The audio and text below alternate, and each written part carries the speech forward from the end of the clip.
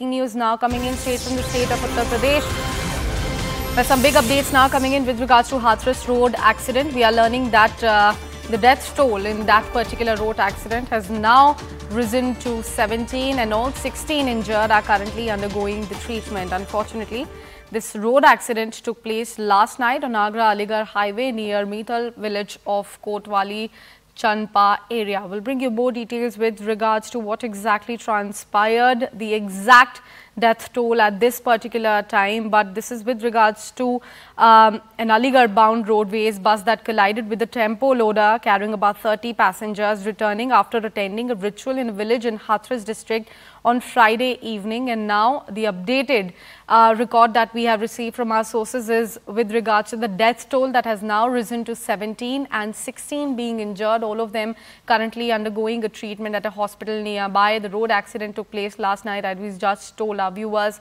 on this Agra Aligarh highway near Meethal village of uh, Kotwali Chanpa area. We have News 18's Amit Singh joining us on the broadcast. Amit ji, वहाँ क्या हुआ exactly और अभी death toll exact numbers क्या है police वालों का क्या कहना है देखिए डेथ टोल का एग्जैक्ट नंबर अगर बात करें तो सत्रह की मौत हो चुकी है और अभी सोलह लोग अस्पताल में भर्ती हैं जिनका इलाज लगातार चल रहा है दरअसल आगरा अलीगढ़ नेशनल हाईवे पर जो रोडवेज़ रोडवेज़ बस होती है, यानी सरकारी बस और लोडर मैजिक में टक्कर हो गई। लोडर मैजिक में जो लोग सवार थे, वो दरअसल आगरा गए हुए थे।